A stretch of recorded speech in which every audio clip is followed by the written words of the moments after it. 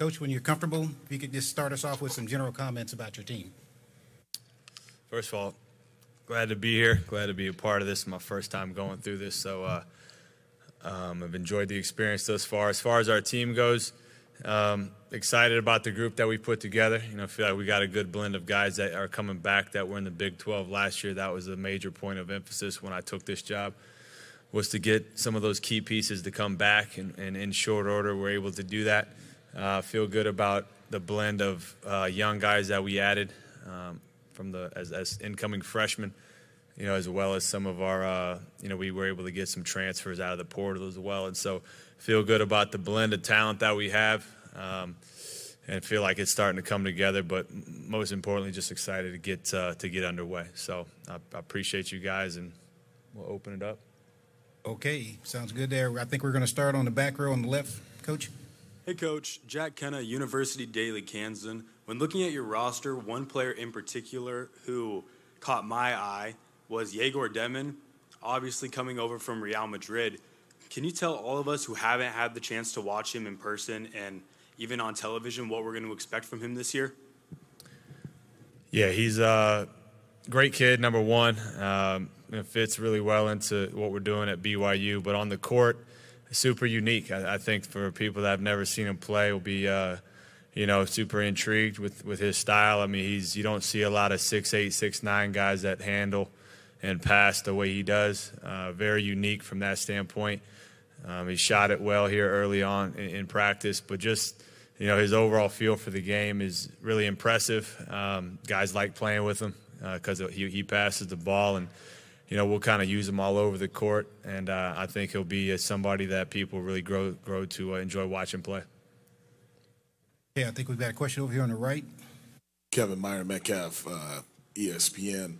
Uh, you, are coming in from the NBA, and I'm just wondering how that experience at that level has shaped how you view the name, image, and likeness conversation at this level you know, when I decided to take this move, leaving the NBA to, to do this, uh, there was a lot of things I was nervous about, just in terms of the unknown. Um, what I've found is there's a lot of similarities that I, I wasn't necessarily accounting for. Uh, the NIL space is, you know, it's just a different word for kind of how things operate in the NBA. You know, I, I find a lot of similarities there, and so quite frankly, it's been a real comfortable space for me to be in. And so I think we've got good people at BYU that have kind of helped uh, sort of manage that, navigate that. But uh, it's been it's been more like the NBA than I thought it would be. Coach, we're going to go to the middle section in the back row. Coach Chris Gardner, Houston Roundball Review. What are your thoughts and impressions of the Big 12? How would you describe it? Extremely competitive. Uh, it feels like the entire league's in the top 25. Um, but I, I just heard one. Uh, I think Coach Boyle mentioned it. I mean, it's it's you can sell the Big 12 when you're out recruiting. I think it makes it uh, you know, even for me. Uh, you know, I've had my eye, you know, in the back of my mind, BYU in the back of my mind at some point thought maybe there's something that could happen. But once they made the move to the Big 12, for me personally, became a lot more attractive because of how good the league is and you're, you're playing against the best players and the best coaches every night. And so I think what I'm expecting is just uh, an absolute gauntlet of a schedule and, you know, look forward to competing against the best coaches and players. Okay, we're still in the middle section, about four rows back. Kevin, uh, Jay Drew from the Deseret News.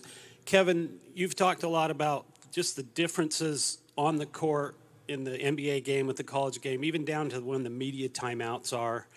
Have you leaned on anybody outside of your, like Chris Burgess, who came from a college program, or have you leaned on anybody outside the program to kind of go through those nuances with you? Uh, yeah, I mean, you know, I, I got three guys, uh, really four guys on my staff who are super well versed in the college game. Actually, probably more than that. But so I've definitely leaned on people, you know, internally. Um, you know, I, I, think I've mentioned, you know, Billy Lange before. We were on staff together with the 76ers. He's the head coach at St. Joseph's University in Philly. So he, he's a guy that I've, I've, talked to a lot about, you know, different nuances of the college game versus the NBA game. Um, and, and, he's been extremely helpful in that sense. But I've, honestly, I've relied mainly on my in-house guys who've been doing this for a long time.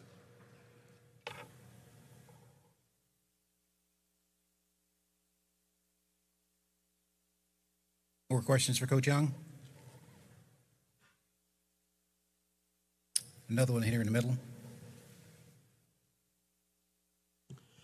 Yeah, Kevin, uh, speaking of that, what is maybe the biggest eye opener or kind of shocker, if you will, of going from the NBA to the college game? Is there anything that's really taken you by surprise? Um, I don't know if anything's taken me by surprise, but I think the thing that's become you know evident, you know, I think coming into it, obviously the the, the recruiting is is something that you don't obviously have to do in the NBA world. Um, so that's navigating that. You know, I've hired a great staff that's helped me navigate that. But I think the biggest thing is just the amount of practice time. You know, I've been talking to some of the other coaches even here today. You know, we've been going since way back in the summer. Just feel in the NBA, everyone talks about NBA training camp. It's like four practices, and then you're off to your preseason schedule, which is basically like the regular season. And so, just navigating the amount of practice time we have. Um, you know, trying not to grind the guys too much. Um, you know, you, you just get kind of tired of competing against the same guys every day. So that, that honestly is the so f- to date has been the biggest difference from what I was doing before to what I'm doing now. Okay, we got time for a couple of more questions. Let's go over here to the right. Uh, Kevin, back to the uh, NIL conversation. How important was it for you before you took this job to know that there would be support in the NIL space? To know that there would be what Support uh, in the NIL space. Yeah, massively important. You know, I think, you know, when when BYU de- decided to make the move to the Big 12, in my mind, you know, that was that was them just saying that they wanted to compete with the best, and so, you know, just trying to get a better understanding of of what that looked like on the NIL space, and just want wanting to be able to compete with the you know the best programs in the country in that area. And uh, you know, there's a lot of BYU has an unbelievable fan base, an unbelievable amount of support. Uh, and so being able to see what that translated to on a, from the NIL space has been uh, you know something I try to do my homework on uh, quite a bit before taking the job. Okay, we can take one more question. Anybody want it?